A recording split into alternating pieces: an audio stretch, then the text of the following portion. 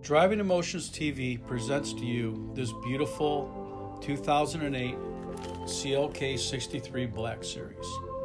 This is a local two owner car, garage kept, and serviced with an open checkbook.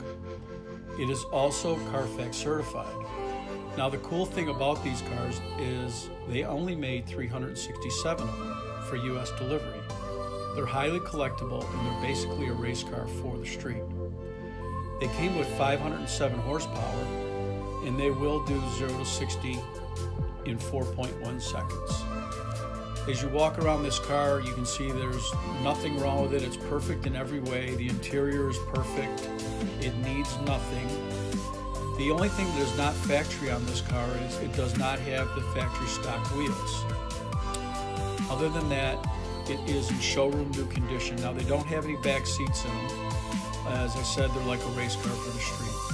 So if anybody has any interest in this beautiful CLK 63 Black Series 2008 with 22,000 miles, Carfax certified, please don't hesitate to give us a call.